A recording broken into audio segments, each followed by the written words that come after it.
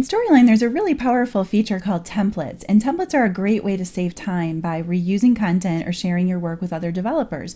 Today we're going to look at how to apply a project template and also how to create your own templates. Now when you first install Storyline, you'll have some templates already available to you, and these slides are an example of that. And to get to this window, all you got to do is go up to the Insert tab, choose New Slide, and then select Templates from over here at the left and your available templates are going to show up right here in this drop down list.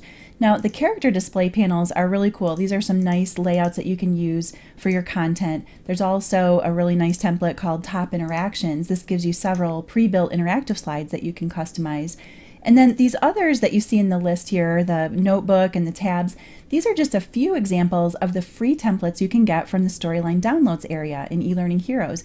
And you can go there by clicking on this download free templates link right up here in the upper right. And we add more downloads all the time. We want to keep growing that library so you have lots of really good stuff to work with. So what you can do is once you've selected a template, you can just click on the slide that you want to use. And if you want to use multiple ones, you can use control click to select as many as you want. We're just going to select one, this one right here in the upper right. And then the next thing is we need to tell Storyline where we want to insert it. We do that right down here. We can choose to add it to the current scene, a new scene, or if we choose same as imported template, that means that if there's an existing scene structure to the slides that we're importing, then Storyline's going to maintain that. So we're going to choose to add ours to the current scene and we can go ahead and click import. And what happens is Storyline is going to add that content to my project. And then if we look at the slide that gets created right here, we'll see that we can, you know, modify anything we want. We can adjust the text, we can move or resize things, swap out the character, any edits or customizations that you want to make. It acts just like a regular slide. So you can make this um, look and behave however you need to. So that's how you can insert a slide from a template that's in your template library. But what if someone gives you a storyline template? Maybe they email it to you, or maybe you downloaded one from the free templates available at eLearning Heroes. Well, that's going to work very similarly. What happens is you're going to get a file that looks uh, something like this. It's going to have a story template extension, and then you can do one of two things with it. You can either double click it from right here within Windows Explorer or, and that's what I'm going to do, but you, there's another way to do it too. You can also, if you're um, just beginning a new project, you'll be at the Storyline launch screen and you can choose from project template and navigate to the file that you want to use. When you do either of those things, you'll see the same you know, window that we saw a minute ago. This is where you can choose the template and you'll see that the new template will show up right there in the list. And then you can select it and you know, choose the slide that you want to add to your course. Now, when you do this, what's cool is Storyline inserts the slides that you selected, but the other neat thing is it's also going to place a copy of that whole template in your template library, which means now you can reuse that template anytime you want. You just go back up to the Insert New Slide Templates dialog, and there it is in our list. It's part of our template library now.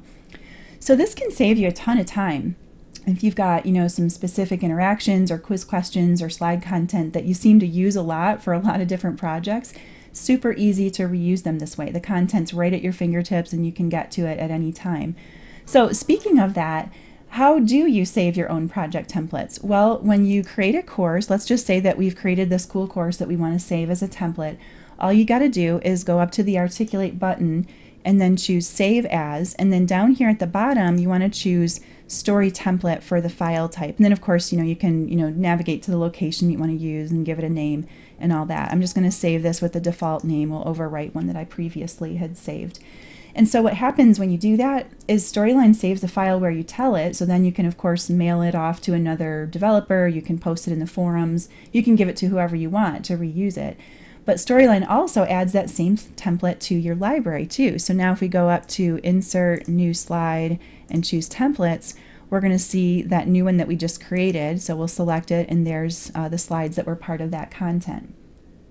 Now the place where your template library lives is called Storyline Templates intuitively, right? So it's going to be part of your folder structure in um, Windows Explorer. So there's a um, Storyline Templates folder within the folder called My Articulate Projects. And if you open that, you'll see all of your templates. And if you ever wanted to get rid of any of these, that's totally fine too. You can just select it in Windows Explorer and then hit delete. And then when you delete it, it's going to go away from your template library as well.